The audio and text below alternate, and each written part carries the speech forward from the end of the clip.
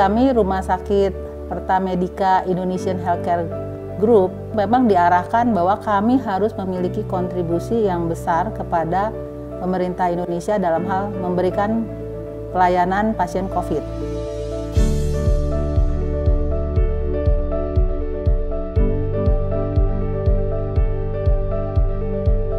Rumah sakit ekstensi Simpruk ini dibangun di atas lahan sepak bola dan itu merupakan rumah sakit tanggap darurat sampai pandemi ini selesai.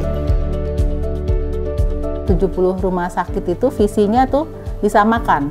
Kami menyamakan visi kami di seluruh rumah sakit BUMN itu 50% dari tempat tidur yang kami miliki dikonversi menjadi uh, ruang rawat yang bertekanan negatif untuk pasien-pasien COVID dan kemudian menambah jumlah ICU.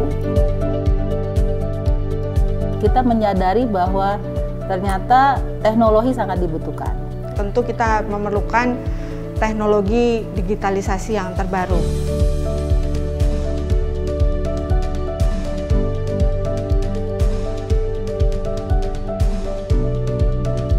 Medika saat ini sudah melakukan digitalisasi layanan untuk membantu tenaga kesehatan dalam memberikan layanan kesehatan yang optimal. Digitalisasi layanan tersebut meliputi penanganan pasien COVID di Rumah Sakit BUMN, di mana salah satunya eh, kami menggunakan teknologi kolaborasi dari Cisco. Teknologi kolaborasi digital membantu dan memudahkan komunikasi antara tim medis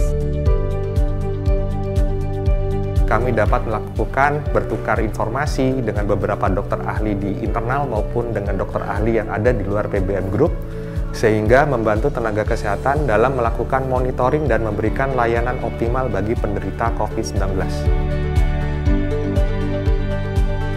Dengan menggunakan media kolaborasi digital ini, kita bisa uh, saling berkomunikasi dan akhirnya kita bisa memberikan yang terbaik bagi pasien kita.